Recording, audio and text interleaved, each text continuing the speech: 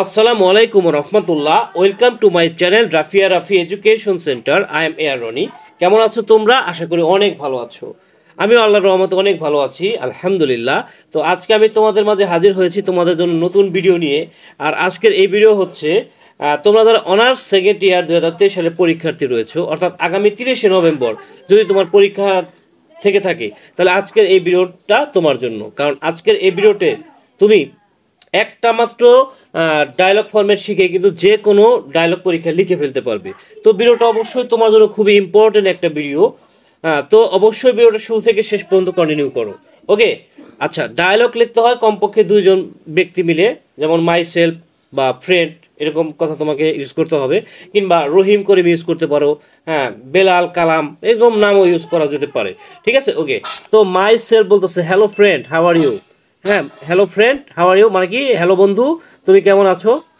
Friend বলতেছে I am fine by the grace of Allah and you আমি আল্লাহর রহমতে ভালো আছি এবং তুমি? এরপরে মাইসেলফ বলতেছে যে মি টু আমিও। It is long time since we meet অনেক দিন হলো আমাদের সাক্ষাৎ হয়েছিল। However I have a serious discussion with you যাই হোক, তোমার সাথে আমার কিছু জরুরি কথা আছে। আই থিঙ্ক আমি মনে করি it is an important matter এটা খুবই এটা একটা গুরুত্বপূর্ণ বিষয়। আর ইউ বিজি নাও তুমি কি ব্যস্ত এখন?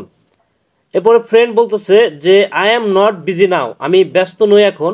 It is my leisure time এটা হচ্ছে আমার অবসর সময়। বিসাইডস তাছাড়া I always agree to talk with you আমি সর্বদা তোমার সাথে কথা বলতে রাজি আছি। অ্যাবাউট এনি ম্যাটার যে কোনো বিষয় নিয়ে অ্যাট এনি প্লেস যে কোনো জায়গায়। I am busy or not busy that doesn't matter আমি ব্যস্ত কি ব্যস্ত নই সেটা কোনো বিষয় না। বাট হোয়াট হ্যাপেন কিন্তু কি হলো? আর ইউ অল রাইট তুমি কি ঠিক আছো? এরপর দেখো মাইসেল বলতেছে ডোন্ট ওরি হ্যাঁ don't worry my dear friend উদ্বিগ্ন হয়েও না আমার প্রিয় বন্ধু। My days are going well by the grace of Allah আমার দিনগুলো আল্লাহর রহমতে ভালোই যাচ্ছে। But I am thinking deeply about কিন্তু আমি গভীরভাবে চিন্তা করতেছি কি নিয়ে? যেই ডায়লগটা পরীক্ষায় আসছে, সেটার নাম এখানে বসাই দিবা। Have you any idea plan বা সাজেশন অন ইট তো বলা হচ্ছে যে, এই বিষয়ে কি তোমার কি কোনো ধারণা, পরিকল্পনা বা পরামর্শ আছে? হ্যাঁ তুমি যদি না বুঝো তাহলে সেক্ষেত্রে আইডিয়া কথাটাই ব্যবহার করবা প্ল্যান বা সাজেশন না দিলেও চলবে। ওকে আচ্ছা এরপরে দেখো যে কি আছে যে ফ্রেন্ড ওয়েল বেশ I think it is high time we discussed the topic আমি মনে করি এটাই উপযুক্ত সময় বিষয়টা নিয়ে আলোচনা করার। আই থিঙ্ক এরপর দেখো আই থিঙ্ক আছে। তারপর ডট ডট আছে। এইখানে কি?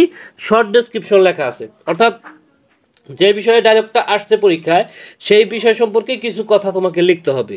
এই শর্ট ডিসক্রিপশনে এই জায়গাতে কিছু কথা লিখতে হবে আরও তো এখানে তারপর এই কথাগুলো লেখার পরে শর্ট ডিসক্রিপশন দেওয়ার পরে তোমাকে কি করতে হবে? Myself thanks for sharing your ideas on it ঠিক আছে? প্ল্যান বা সাজেশন যদি এখানে না দিতে চাও, কোনো সমস্যা নাই। Thanks for sharing your ideas on it এতটুকু বসে দিলে হবে। অর্থাৎ তোমার আইডিয়া শেয়ার করার জন্য বা আইডিয়া ভাগাভাগি করার জন্য তোমাকে ধন্যবাদ। ঠিক আছে? এরপরে ফ্রেন্ড বলতেছে ইউ আর ওয়েলকাম তোমাকে স্বাগতম। হ্যাঁ ইউ আর ওয়েলকাম তোমাকে স্বাগতম। Myself it is time to go home এটা সময় হলো বাড়ি যাওয়ার। এরপরে কি সি ইউ নেক্সট পরে দেখা হবে আবার, এটা বলা হচ্ছে আর কি। এরপরে ফ্রেন্ড ওকে ঠিক আছে সি ইউ নেক্সট পরে দেখা হবে। টেক কেয়ার ইউর সেলফ ভালো থেকো। এরপরে মাইসেল বলতেছে okay bye may Allah keep you safe Allah তোমাকে ভালো রেখেন।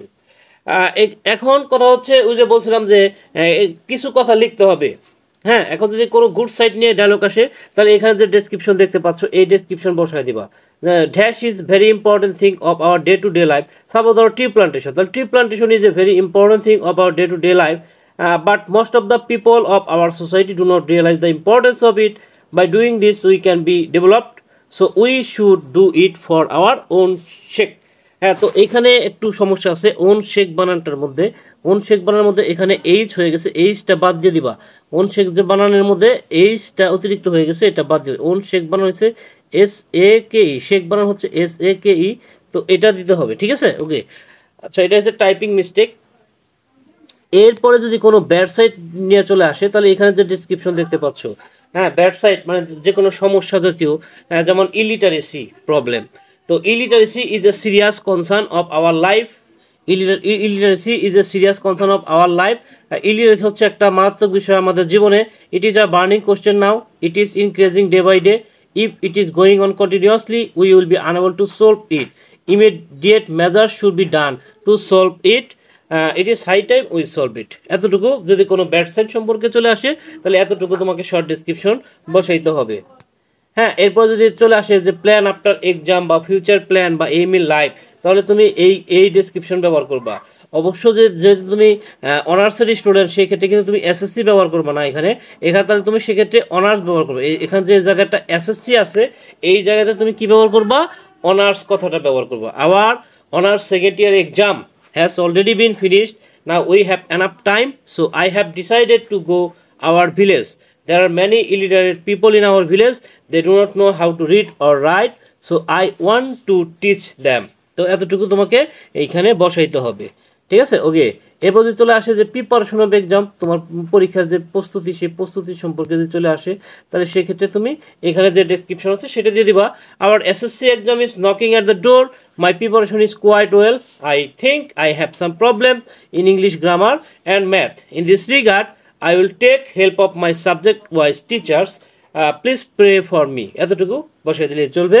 এরপরে যদি চলে আসে bad effect of smoking smoking is injurious to health it causes many fatal diseases like cancer bronchitis and others it is not only harmful but also costly so we should give up the habit তো এতটুকু যদি bad effect of smoking এই ডায়লগটা চলে আসে। যে কোনো importance নিয়ে যদি কোনো ডায়লগ চলে আসে, তাহলে সেক্ষেত্রে তুমি এখানে গুড সাইডটা বসাই দেবা যে এখানে যে গুড সাইড আলোচনা করা হয়েছিল, এখানে দেখো যে গুড সাইড কিন্তু আলোচনা করা হয়েছে এখানে। কোথায় আলোচনা হয়েছে গুড সাইড হ্যাঁ এটা উম, দেওয়া। যেমন importance of reading newspaper তো এই জায়গাটাতে তোমার কি করতে হবে যে importance of reading newspaper কিন্তু গুড সাইডের মধ্যে পড়ে। যেহেতু এটা গুড সাইডের মধ্যে পড়ে তো এই জায়গাতে তোমার কি করতে হবে? Importance of reading newspaper কথাটা ব্যবহার করতে হবে। Importance of reading newspaper is a very important thing of our day to day life but most of the people of our society do not realise the importance of it হ্যাঁ তারপর by doing this we can be developed so we should do it for our own sake ঠিক আছে? এতটুকু তোমাকে বসাই দিতে হবে। যে কোনো কিছুর ইম্পর্টেন্স নিয়ে চলে আসতে পারে। Importance of reading newspaper importance of taking physical exercise importance of learning English যে কোনো কিছুই কিন্তু এইখানে চলে আসতে পারে। তো এই জায়গাতে যাই আসুক ইম্পর্টেন্স নিয়ে যদি কোনো কিছু থাকে, সেটাও কিন্তু গুড সাইডের অন্তর্ভুক্ত। আর যদি কোনো কিছু মানে খারাপ দিক সম্পর্কিত হয়, কোনো সমস্যা জাতীয় বিষয় হয়, তাহলে কিন্তু সেটা ব্যাড সাইডের মধ্যে পড়বে। তাহলে সেক্ষেত্রে তোমার যে ব্যাড সাইডের যে ডেসক্রিপশন আছে, সেইটা কিন্তু ব্যবহার করতে হবে। তো এভাবে কিন্তু সহজেই তুমি কিন্তু যে কোনো ডায়লগ পরীক্ষায় কিন্তু লিখে ফেলতে পারবা। তাহলে ডায়লগ অত বেশি তোমার মুখস্থ করতে হবে না। ঠিক আছে? তো আশা করি বিষয়টা বুঝতে পারছ। তো এই ছিল আজকের আলোচনা। আগামীতে কথা বলব অন্য কোনো টপিক নিয়ে। সে পর্যন্ত সবাই ভালো থাকবে, সুস্থ থাকবে, সুন্দর থাকবে। টাটা। আসসালামু আলাইকুম রহমতুল্লাহ।